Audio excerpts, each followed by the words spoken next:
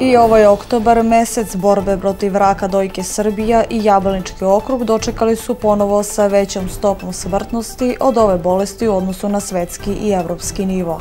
Svečanom akademijom Sinuć u Narodnom pozorištu u Leskovcu treći centar za obuku Vojske Srbije obeležio dan jedinice. Tehnološki fakultet u Leskovcu Univerziteta u Nišu organizuje treći konkursni rok za upis studenta u prvu godinu osnovnih akademskih studija za školsku 2023-2024 godinu. Poštovani gledalci, dobroveče. Pratite panoramu televizije Leskovac, ja sam Jovana Stiljković. I ovaj oktobar, mesec borbe protiv raka dojke, Srbija i Jablanički okrug dočekali su ponovo sa većom stopom smrtnosti od ove bolesti u odnosu na svetski i evropski nivo.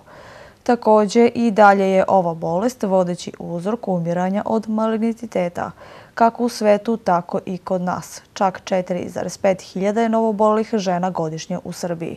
Uzroke nastanka ove bolesti treba tražiti u naslednim, ali i drugim faktorima. Međutim, postoje oni koji zasigurno utiču na nastajanje bolesti. Pa jedan od faktora rizika je upravo uh, rana menstruacija ili kako kažemo menarha, znači pre 12. godine. Rano stupanje u seksualne odnose, zatim gojaznost, nedojenje, nerađanje je takođe jedan od faktora rizika. Postoje faktori rizika na koje možemo uticati, znači i pravilnom ishranom, i boriti se protiv gojaznosti, i raditi na napređenju fizičke aktivnosti, jer upravo fizička aktivnost je jedan od faktora ovaj, poboljšanja zdravlja, ali i smanjenja smrtnosti. Podaci pokazuju da u svetu godišnje svaka sedma žena oboli od ovog karcinoma. Inače, e, u Republici Srbiji, znači svake godine se registruje negde oko 4,5 hiljada novo obolelih, tačnije u 2021. godini na osnovu registra za rak, beleži se 4447 novo obolelih žena, Nažalost, 1765 žena je izgubilo bitku sa ovom bolešću. Na našem okrugu je u 2021. godini diagnostikovano 121, znači karcinom kod 121 žene. Nažalost, 45 žena je izgubilo život zbog ovaj, eh, od karcinoma dojke. Stručnjaci podsjećaju da je ova bolest izlečiva ukoliko se otkrije na vreme, u suprotnom je veća smrtnost. Organizovani skrining u Srbiji je počeo da se sprovodi od 2012. godine, a u Leskovcu, odnosno Jablaničkom okrugu, dve godine kasnije. Nažalost, suočeni smo sa uh, tim, znači da nam već uh, poslednje četiri godine ne radi e, mamograf ni u Domu zdravlja Leskovac, ni u opštoj bolnici Leskovac, tako da je nažalost našim sugrađankama i našim građankama, našim ženama celog jablaničkog okruga na neki način uskraćena ova mogućnost ka ranom otkrivanju raka dojke, a s druge strane činjenica je da je za nama jedan period uh, pandemije covid kada su bile i ređe posete zdravstvenom sistemu ovaj, na preventivnim pregledima. E, ono što je dobro da smo 2019. 2021. godine kao i ove godine je bio organizovani e, pregled mobilnim mamografom.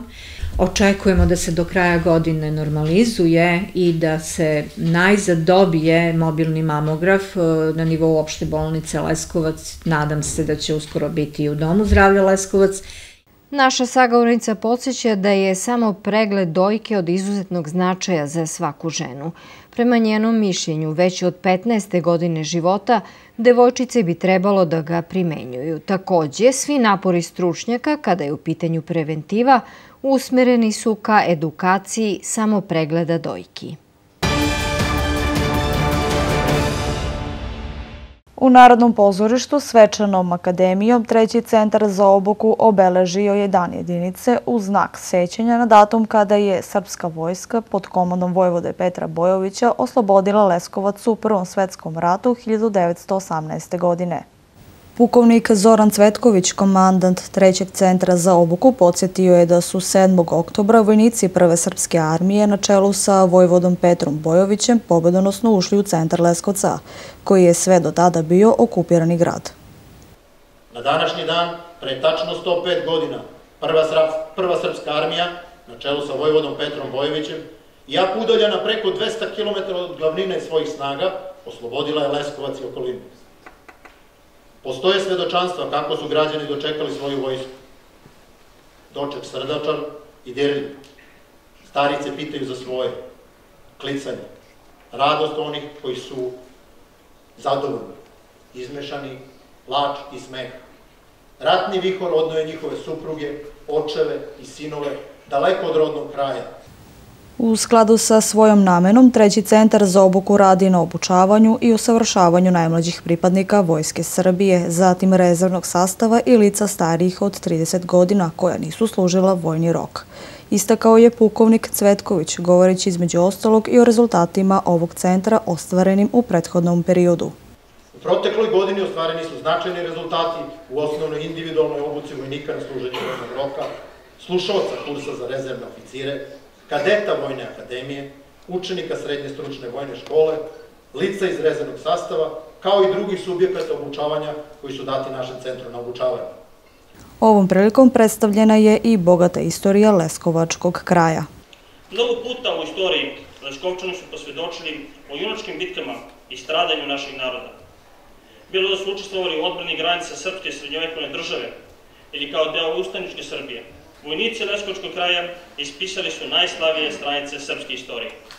Na obeležavanju dana jedinice u okviru kulturno-umetničkog programa nastupio je ansambal Stanislav Binički, odnosno hor Ministarstva odbrane i Vojske Srbije, a izveden je i odlomak iz predstave Vojvoda Nikola Skovoljić u organizaciji Kulturnog centra Medveđa. Inače, treći centar za obuku formiran je 11. jula 2011. godine nalazi se u Leskovačkom garnizonu u kasarni Vojvoda Petar Bojović u Donjem Sinkovcu.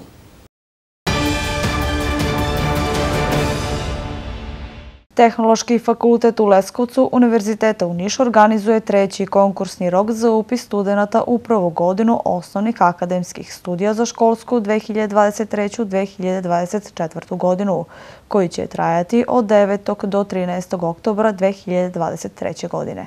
Prijavljivanje kandidata je 9. oktobra od 9 do 13 sati, dok će se polaganje prijemnog ispita održati 10. oktobra sa početkom od 10 časova iz predmeta matematika, fizika, hemija ili crtanje.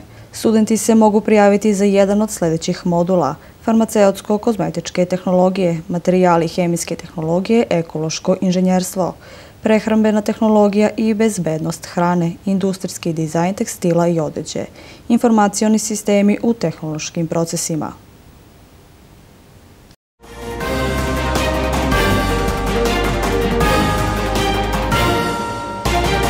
Nastavku panorame saznaćete gde se ovog vikenda sprovodi akcija uklanjanja divlje deponije. Koliko takmičara je iz Srbije, Severne Makedonije, Bugarske i Moldavije uzelo učešće na plivačkom mitingu Leskovački pobednik. I kako nas vreme očekuje narednih dana. Odeljenje za zaštitu životne sredine gradske uprave ovog vikenda sprovodi akciju uređenja javne površine oko hipodroma u Leskovcu u saradnji sa javno-komunalnim preduzećem Grdelica, odeljenjem komunalne policije i kompanijom PVV. Podsjetimo, reč je o akciji koja se na području Leskovca svakog vikenda sprovodi više od 10 godina. U Niškoj hali Čajer otvoren je 14. sajam automobila. Predstavljeno je stotinak modela, a među njima 15 niških i 10 srpskih premijera. Ove godine akcijenat je stavljena električne automobile i hibridna vozila. 14. Automoto Fest u Nišu. Veliki broj automobila Niške i srpske premijere, nekoliko novih brendova, prodavci autodelova, banke, osiguravajuće kuće, tehnički pregledi na jednom mestu. I ovoga puta Hala Čajer je mesto okupljanja ljubitelja četvorotočkaša. U fokusu ove godine su električna vozila. skladu sa tim da se sve više govori o zelenoj agendi i elektrifikaciji voznog parka i flota, mi smo odlučili da na Niškom sajmu premijerno predstavimo laka dostavna vozila koja su potpuno električna. Ima ih u raznoj izvedbi, pa tu je i frigo model sa odvojenim baterijama koje ne utiču na domet, nešto što je praktično jedinstveno i u Evropi. Prvo što bi rekao da svi pričaju da je električni automobil budućnost. Ne, to je sadašnjost. To je dejstvo koji treba samo da se iskaže još u restičnom svetu. Recimo, Norvežani imaju već sad 80-90% svih novih automobila električnih. Pošta Srbije među prvima je započela nabavku lakih električnih dostavnih vozila. Kupila je za sada 31 električno vozilo koje je opredeljeno pre svega prvo za Novi Sad, jer je tamo ravničarski kraj, zagađenost vazduha je tamo velika, vozila su mahom predviđena za centar grada i za ravničarski predo. Nastavit ćemo i dalje da se društveno odgovorno ponašamo, da kupujemo vozila na električni pogon i sami znate da se sada mere sve te čestice pogotovo u velikim gradovima. Niš je jedan od takvih gradova, Kragovac i Beograd. Organizator sajma je City Marketing Centar, a pokrovitelj Grad Niš. Preko stotinak e, automobila u hali Čajir, 10 srpskih premijera, znači prvi put u Srbiji, 15 niških premijera, puno električnih vozila skoro na svakom štandu, tako da će ovaj sajam biti posebno zanimljiv. Vidimo ka tom nekom jubileju 15. sajam automobila u Nišu. Očekuje se da ovog vikenda kroz halu prođe između 30 i 40 hiljada posetilaca. Više od 450 takmičara iz Srbije, Severne Makedonije, Bugarske i Moldavije uzelo je učešće na plivačkom mitingu Leskovački pobednik, koji je danas održan na bazenima Sportsko-rekreativnog centra Dubočica. Ovo nadmetanje okupilo je 25 klubova čiji predstavnici su se takmičili u osam kategorija. Za najbolje su obezbeđeni medalje i pehari. Imamo preko 450 takmičara iz četiri zemalja, što je veliki, veliki broj takmičara na, na jednom mestu, obzirom da smo imali jako veliku i uh, uspešnu sezonu koja je pred nama, tako i iza nas i nadamo se sve većem uspjehu. Lokalna samouprava je prepoznala sport kao oblast koja je važna za zdravo odrastanje najmlađih sugrađana, istakao je Stefan Kitanović, gradski pećnik. On je podsjetio da se na godišnjem nivou za rad klubova i organizacije iz budžeta grada izdvaja 125 miliona dinara, kao i 145 miliona za funkcionisanje Sportsko-rekreativnog centra Dubočica, zahvaljujući čemu je Leskovac prepoznat kao grad po meri sportista, ocenio je Kitanović.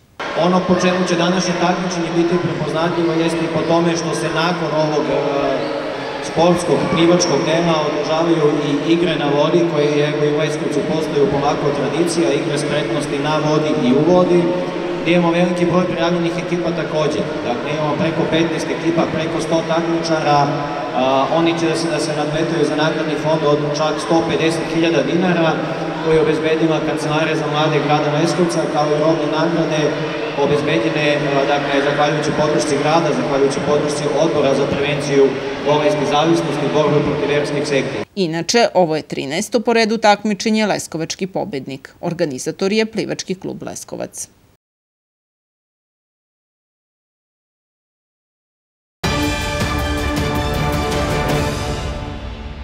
Da pogledamo kakvo to vreme prognostičari najavljuju za naredne dane. U nedelju prolazno na oblačenje, ponegde sa kratkojtrnom kišom ili lokalnim pljuskovima i to uglavnom u centralnim i jugozapadnim predalima Srbije. Najniža temperatura od 5 do 13, a najviša od 24 do 28 stepeni. Biometeorološka situacija može izazvati uobičajene tegobe kod pojedinih hronično obolelih i osetljivih osoba. Obrez se savjetuje astmatičarima i bolesnicima sa povišenim krvnim pritiskom. Reumatski bolovi i nesanica su očekivani kao meteoropatske reakcije. Svim učesnicima u saobraćaju se preporučuje pojačana koncentracija. U ponedeljak osetno hladnije. Tokom dana pretežno sunčano uz malu i umerenu oblačnost. Vetar slabi i umeren, severozapadni. Minimalna temperatura od 3 do 10, a maksimalna od 17 do 21 stepen. U utorak jutro hladno, tokom dana prolazno na oblačenje na severu i istoku, ponegde sa kratkotrajnom kišom ili pljuskom.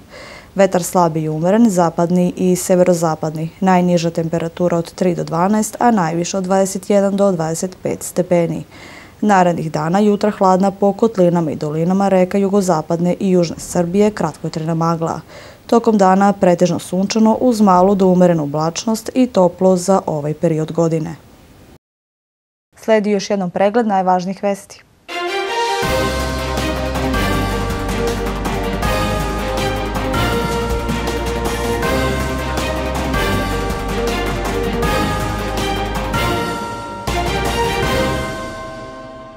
I ovo je oktobar, mesec borbe protiv raka dojke Srbija i Jablanički okrug dočekali su ponovo sa većom stopom smrtnosti od ove bolesti u odnosu na svetski i evropski nivo. Svečanom akademijom Sinuć u Narodnom pozorištu u Leskovcu treći centar za obuku Vojske Srbije obeležio dan jedinice. Tehnološki fakultet u Leskovcu Univerziteta u Nišu organizuje treći konkursni rok za upis studenta u prvu godinu osnovnih akademskih studija za školsku 2023-2024 godinu. Ove i ostale vesti možete pronaći i na našem sajtu www.tvl.rs. Poštovani gledoci, panorama je završena. Ostanite i dalje uz naš program. Prijetno večer.